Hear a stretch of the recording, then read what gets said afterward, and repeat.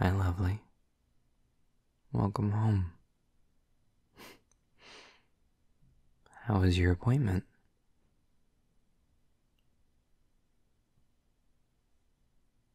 Good. I'm glad.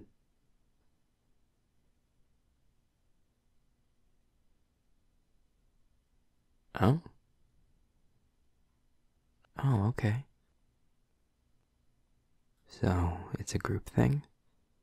Like a meetup for Laytons to talk to each other? Nice. That's cool. I I didn't realize the department facilitated that kind of thing. Does it actually happen at the academy, like on campus? Nice.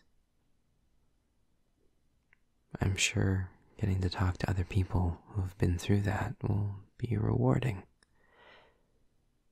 I know when I got turned, being able to talk to the other members of the clan was a big help. It's almost like a support group. cool. Um, are you still gonna be meeting with your therapist, like in addition to that? Oh, okay. the smell. yeah, I uh I made us dinner. The other night when we cooked together was a lot of fun, and I know you really liked that meal, so uh, I made it again. I figured after the long day, it'd be nice to come home to a warm meal. yeah, I'm excited to cook with you again, too. Maybe later this week? Okay. But tonight I figured we could just enjoy the eating part together. and you wouldn't have to worry about the making part. You're welcome. I'm glad to do it. Yeah, yeah, go ahead. Uh, go get changed and I'll I'll get it plated up and meet you in the dining room.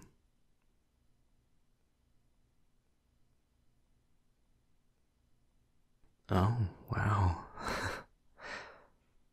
I figured you'd be going the comfy clothes route after your long day.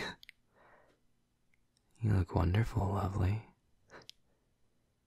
Uh, I guess it's going to be a feast for the eyes as well as the stomach tonight.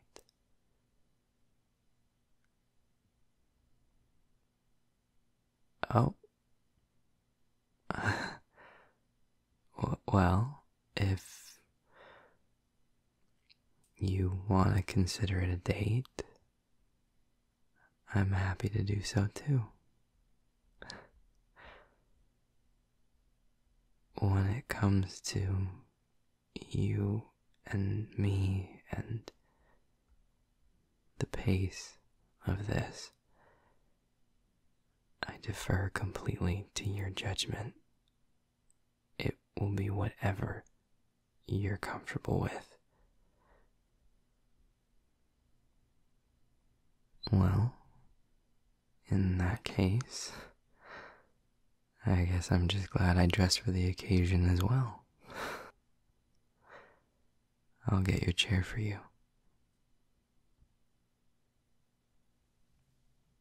There you go. I hope that works for the drink. It's what you had last time, so I figured it was alright. Good. Hmm? Yeah, I'm not really one for head chairs at a table. It feels stuffy to me. I like having them just on the sides of the table. I think it feels more communal. Plus, in this case, it means I get to be closer to you.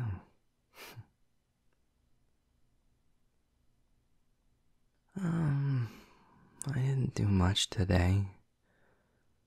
I had a phone meeting with my advisor at the academy. Are you signed up for any classes over the winter semester? That wasn't a thing back when I was in college. or at least not at the college that I was at.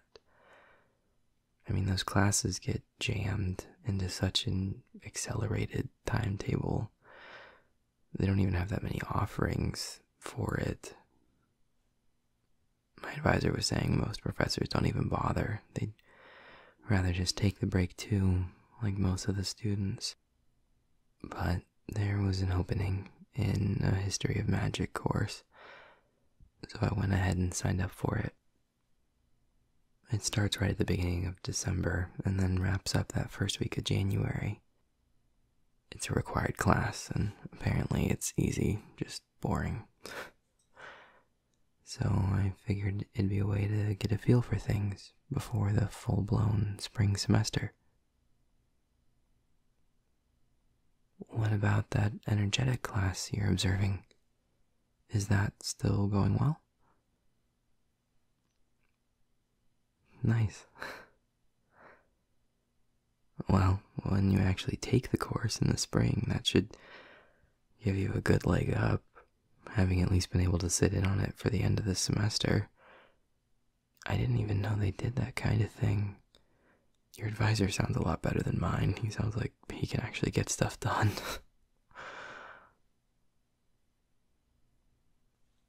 really? Right now? Oh, yeah, I'd love to see it. Have you been practicing it for a while? Okay. Oh, wow. That's amazing, lovely. If you can already do that, you're really going to be able to do incredible things once you've got some classes under your belt. Color me impressed. Though I've been impressed with you since the first day I met you, little one. The feeling's only grown stronger since. Hmm. Well, uh, what else? Oh, Will gave me a call. Said he needed to talk tonight, so I'll be heading over to his house later. No, he, he didn't go too deep into details. Sometimes I swear he does this shit just for the mystique of it all. the way he phrased it was that it was important, but not urgent. I guess that makes it the kind of thing he wants to discuss in person, but that doesn't require me running over there. No, I really don't know what it would be about. He and I have already talked at length about everything that happened with you. We're all good there. So, the only thing he mentioned was that it had to do with Halloween night, that something had happened. I don't know. I guess I'll find out tonight. I mean, if something had happened to Sam, I'm, I'm sure he would have called me over immediately. Oh, I'm, I'm just guessing it might have to do with Sam. It, it was his night to watch the park on Halloween, if I remember right. Yeah, we take turns, someone staying on watch each night. Nothing ever really happens, but it was part of the deal with the department when Will took the place as part of the clan's territory. It's kind of a long story. I'll tell you later.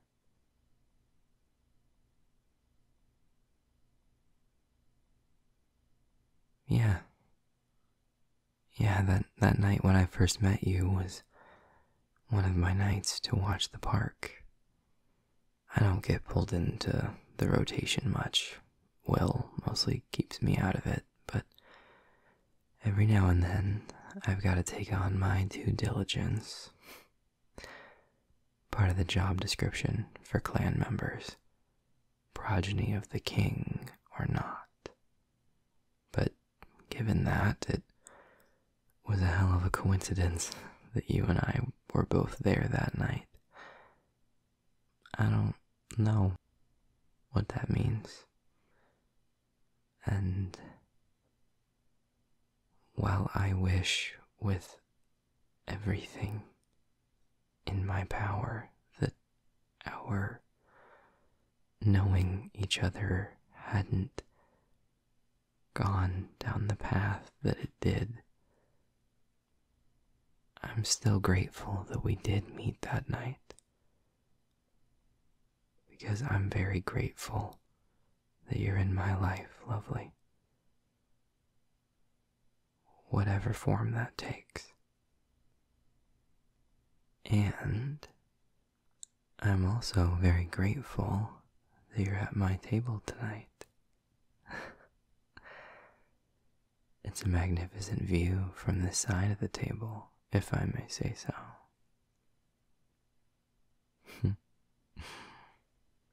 You're too kind.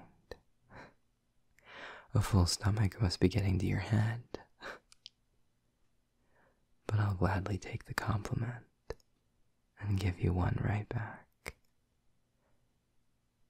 I meant it when I said I'm impressed by you. You've been through so much in such a short time, and you're not losing yourself in it.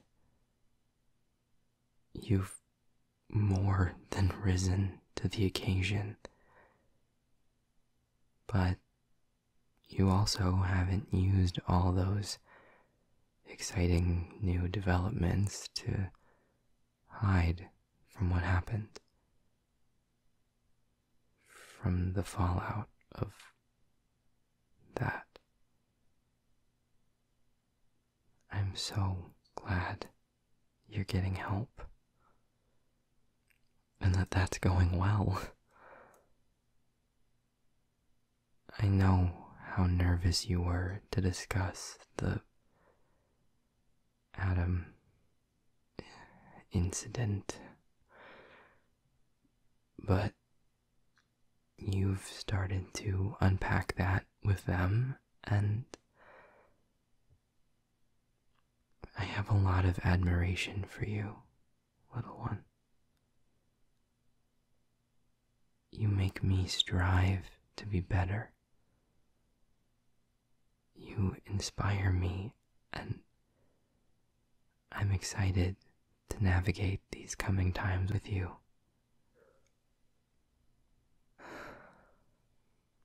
Who'd have thought, right? One night, we're flirting in the ruins of an abandoned amusement park.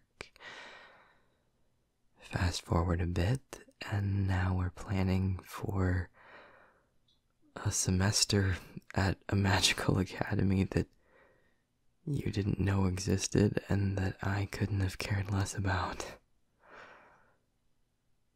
Pretty soon we'll be cramming for exams, studying, navigating two different sleep schedules and lives and unique needs.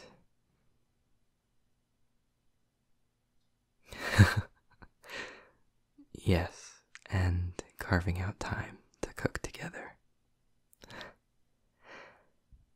And time to get to know each other better.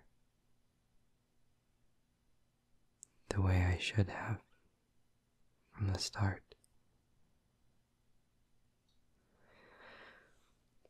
To the future.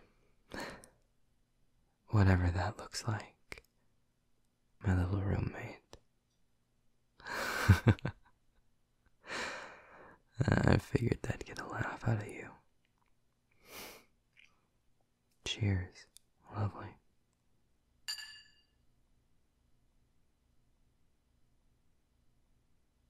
Dessert. well, I didn't have anything planned. I don't suppose you'd like to go out somewhere for it. yes, I absolutely can drive. Just because I can run as fast as a car doesn't mean I wouldn't rather drive. I happen to love cars, I'll have you know. have you not taken a look in the garage? Oh, well, then you're in for a treat. Oh, yeah, it's decided now. You've questioned my abilities, and my fragile ego can't stand for that.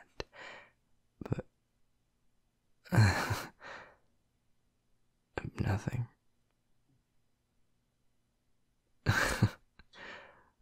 well, I was going to say, but I bet I'd lay down for it. but I am trying to hold back on the salaciousness, at least a bit, we get to a point where it's more appropriate. Either way, come on, we're going. I know just the place. We just have to make sure we get back at a reasonable hour. I'm not looking to get reamed by my maker for blowing him off. All things considered, I've been on a streak of fairly good behavior. Mostly. well, I have to keep the old man on his toes at least a little bit, you know. I can't let Alexis have all the fun. How about you pick which car we take? And as long as you promise not to give my immortality a run for its money, you can drive us home. okay. Let's go.